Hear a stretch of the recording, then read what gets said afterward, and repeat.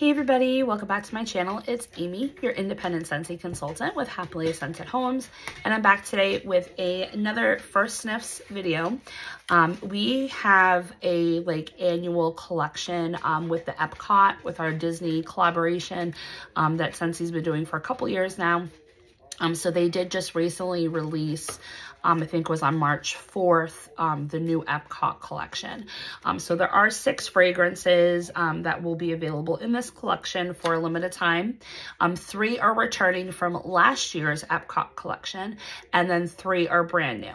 So I was able to grab um, the three brand new ones, and then my mom actually has all three of the past scents in her club.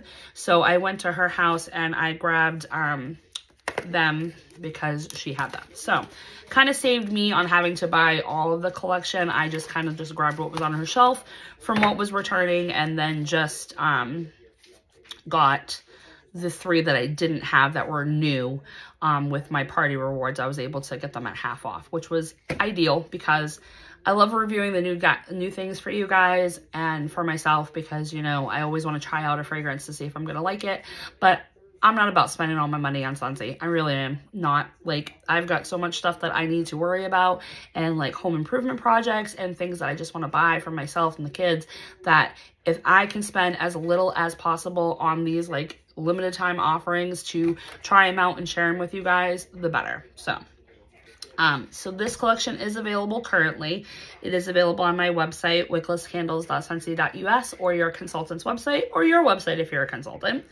Um, nothing's sold out. So currently you can get the six bars. You can buy them individually. And then there is a three pack of the new um, scents that you can get for $17. And then they do have the scents that were available last year um, Heirloom Rose, Mint Fields, and Soft Plumeria. You can actually get these in fragrance flower form, and each of the fragrance flowers is the, the actual flower. So like Mint Fields, it's a mint leaf. Soft Plumeria, it's a Plumeria petal, and Rose is a rose, which is pretty cool. And they are the colored oil, um, which is like the biggest rave that Scentsy's got going on with these fragrance flowers. Um, so I did not get any of those. Um, I just have the wax bars. So we'll get right into it. Um, so we'll start off with the three that came back um, from last year's Epcot collection. Um, so we've got Mint Fields. Um, this one came back. Um, this one is spearmint leaves, peppermint, and crisp greens. So to me, this literally smells like spearmint Wrigley's gum with like an herbal tone to it.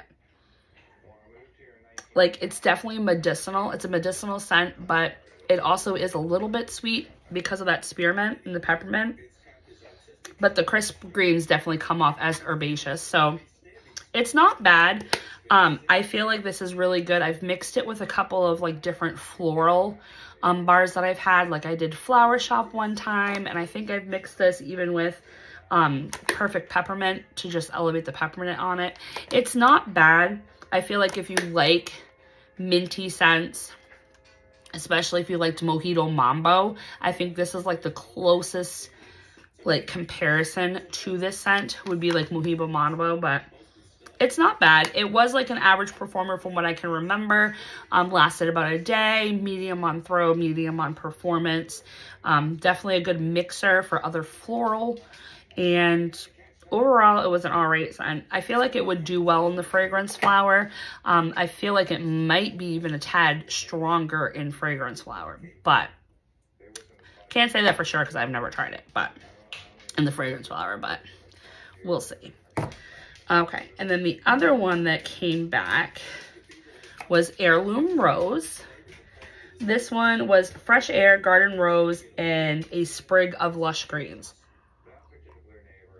So I do like rose scents. This was one that was a touch too strong for me. Um, so it's definitely authentic rose. It's definitely like a perfume rose. Not so much a body care rose, but definitely like a perfume rose. Like an older rose perfume, rose body lotion that, you know, your grandmother would have. Like it's a, definitely a mature rose scent. And I think that's why I can't handle it. It's very strong. It is a, it's not a powerhouse, but it is a stronger floral and it is on the headache inducing side, at least for me. My mom absolutely loves it. She pairs this with Flower Shop all the time. And Flower Shop is basically, it smells to me like um, baby's breath. And it was like in a Bring Back Your Bar like a couple rounds ago. Um, but if you love rose scents, if you're missing like Simply Rose, um, if you liked Rosewood and Freesia, you probably would like this one. But like I said, it is heavy on the rose, so you do have to like rose in order to appreciate this scent. And no, it is nothing like Twilight. Because I know Twilight smells like rose. This is nothing like Twilight. And really the crisp, the lush greens, I'm really not getting much with that. Or the fresh air. It's mostly rose. And then the other one that came back was Soft Plumeria. Nice yellow color. Um, this is Pink Plumeria with Sweet Apple and Teakwood. Now this one's nice. This one I did like. I did not club it though, only because my mom clubbed it. But I do like the apple note in here and the plumeria is really, really nice. It's the same plumeria note that's in plumeria peach, which I absolutely love plumeria peach. And the teak wood kind of just brings like a depth and sophisticationness to the bar. But it's a really good performer average, medium. It does last about a day and a half usually if I stick it in a smaller space versus like a big living space like this. Um, but this one is really nice and I'm almost tempted to put this on my wish list to get in a fragrance flower um, just because out of the three that are returning, this was the one I like the most. So, all right, now we got some fresh sniffs because I have not sniffed these three new ones. So they did create three new fragrances to go along with the three that they returned. And this one right here, I've got two that I'm like super intrigued on. The Garden Fresh Gardenia and the Glorious Grapefruit. These are the ones I'm the most intrigued by. So we'll hold off on that just a second. But Hibiscus Sunset is one of them. And this one is Tangy Pineapple Juice, Peach Nectar, and Tropical Hibiscus what is up with all the freaking pineapple? I really think they have an abundant amount of pineapple oil left over from like COVID or what have you, because it seems like almost everything has pineapple in it. Follow the Rainbow Bar had pineapple in it. I don't know. There's so much stuff with pineapple. All right, let's see. So we got tangy pineapple juice, peach nectar, and tropical hibiscus. Let's hope it is not overripe pineapple and doesn't smell like rotting fruit. Cross our fingers. Okay, good. It does not smell like rotting fruit. Okay, good. Okay, the pineapple juice is really, really good here. So this, like, confirms to me that that golden pineapple that they describe is the one that smells like rotten fruit. And pineapple juice does not do that to me, so. And I do get peach in here. I do like the combination of the pineapple and the peach together. That's really sweet. It's really fresh. It's bright. And there's like a sweet floral on the back end with the hibiscus, but it is a tropical scent. I actually really like this one. This is not bad.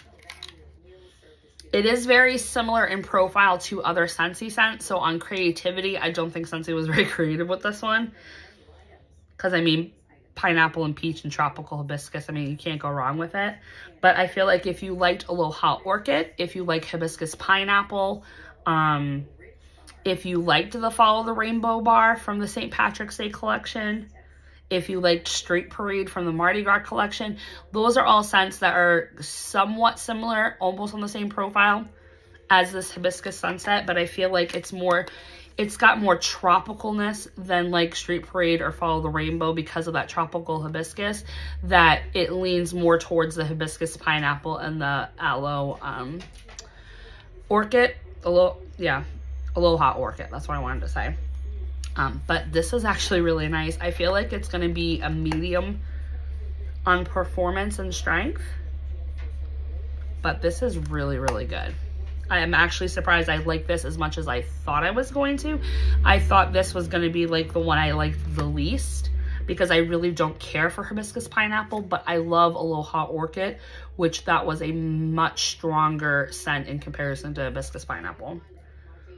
I can actually see myself warming this quite a few times this summer. Is it club worthy? I don't know yet. I have to warm it to find out. Um, but this is actually a pretty good scent. So, okay. Glorious Grapefruit. I am so happy to have more grapefruit scents. I love Grapefruit Sunshine. That's my absolute favorite grapefruit scent by Scentsy other than Be Fabulous. Be Fabulous has limoncello and grapefruit, so it's a little bit of both. It's more of like a overall citrus scent, um, but true grapefruit scents are very few by Scentsy. Like they, they don't come every, like it's a once in a blue moon that they make a grapefruit scent. So this one is described as freshly squeezed pink grapefruit, juicy orange, and a sprig of green leaves. So let's see. Yep. This is good. I like this one. It's definitely fresh cut ruby red grapefruit. Like if you were to take a ruby red grapefruit and slice it in half and like the little juice like spritz in your face. I definitely got orange in here. Oh, that's good. Mm, this is going to be a good mixer with like all our other citrus scents that we got in the catalog. Lemon sorbet, squeeze the day,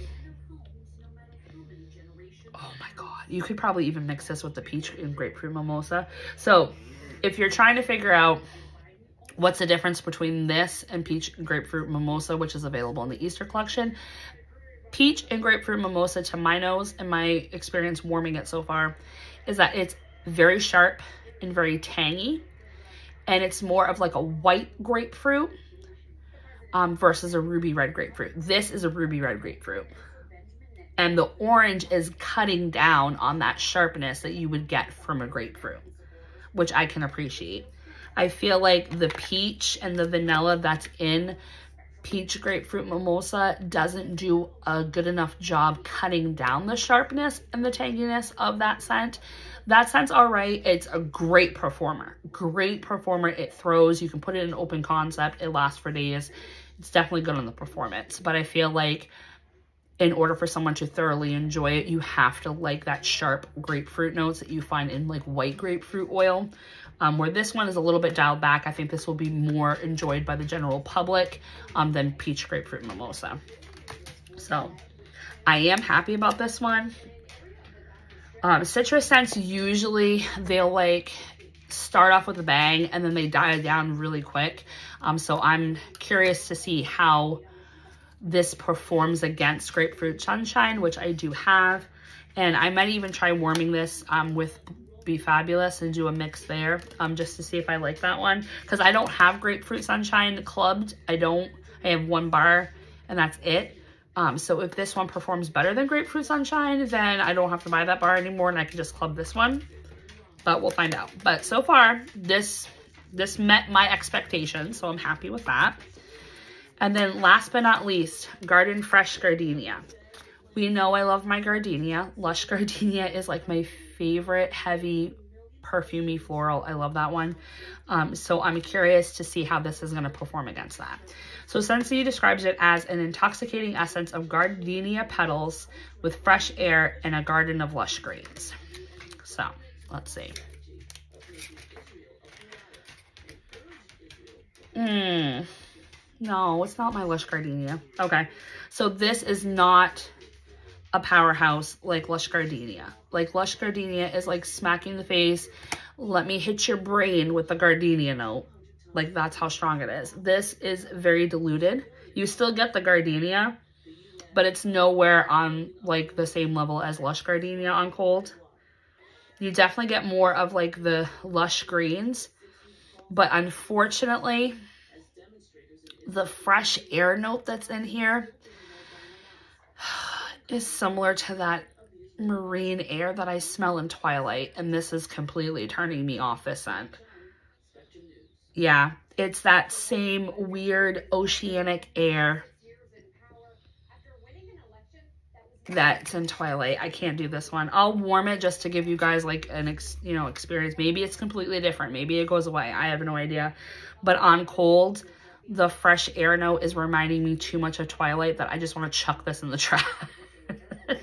Which is so bad to say, but whatever. But I can appreciate the gardenia not being as strong as Lush Gardenia because for those that do like gardenia but couldn't handle Lush Gardenia, then this would be a good one for you to try if you do like gardenia scents but can't handle a strong, heavy, perfumey one. So, yeah, that fresh air note, I don't like it. Nope. Okay, so like I said, for the three that are returning, the one I really, really liked was Soft Plumeria. Um, that one I like the most out of these three. And also with Soft Plumeria, if you're missing out on like sun soaked petals or soaking rays that didn't return, or even here comes the sunflowers, I feel like grab yourself a bar of Soft Plumeria just to try it this, this spring and summer. But for the newer scents, I am so surprised that I actually loved Hibiscus Sunset and Glorious Grapefruit. I kind of had, you know, an inkling that I would like this one just because of my scent profile. I love citrus. Citrus is my favorite category and I love grapefruit scents. Um, so it was like a no-brainer. I was going to like this one. Um, but this I was actually surprised on. The pineapple and peach in here is so lovely. And then the hibiscus really like brings it, like it ups the tropical vibe yeah, this one's really good. But I'm super sad on the Garden Fresh Gardenia because I really thought I was going to like this one because I love Gardenia and Lush Gardenia is like my jam. And I wasn't even trying to like disappoint myself because I told myself if this scent smelt and performed better than Lush Gardenia, then I could just kick it out of my club. You know, and have this one in there for, for a good bit.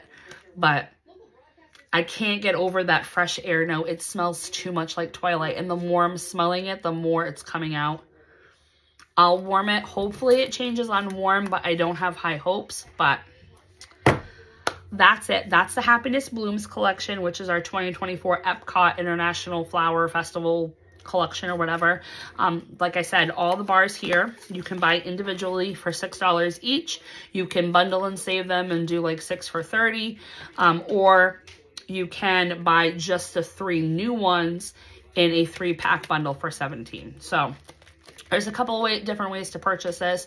And like I said, these three scents, the Soft Plumeria, Mint Fields, and Heirloom Rose are all available in fragrance flowers. Um, so definitely check those out if you're into the fragrance flowers and want to try those out. It's all limited time, so get it while you can, get it when you want to. And before the collection ends, if any of these scents you love and don't want to be without once the collection goes away, definitely consider uh, starting a club or throwing these scents into your existing club so that way you can take advantage of the Always Get My Bar perk. This is Aimee, your independent Scentsy consultant. Thanks for watching, liking, commenting, and subscribing, and I'll talk to you in my next video. Bye!